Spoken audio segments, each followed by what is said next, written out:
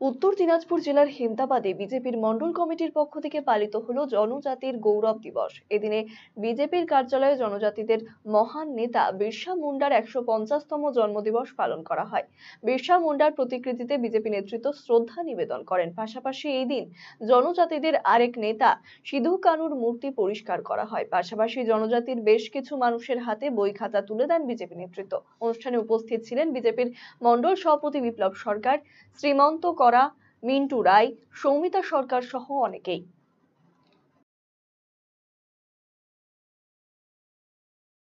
আজকে আমাদের জনজাতির মহান ব্যক্তি বিরসা মুন্ডার একশো জন্মদিন উপলক্ষে আমরা দলীয় কার্যালয়ে তার জন্মদিন পালন করলাম এবং জনজাতির নেতা সিধু কানুর মূর্তি পরিষ্কার করলাম। তারই পাশাপাশি জনজাতিদের মধ্যে কিছু বই এবং কিছু খাতা আমরা বিলি করলাম। আজকের দিনটাকে মাননীয় প্রধানমন্ত্রীজি জনজাতি গৌরব দিবস হিসাবে ঘোষণা করেছে।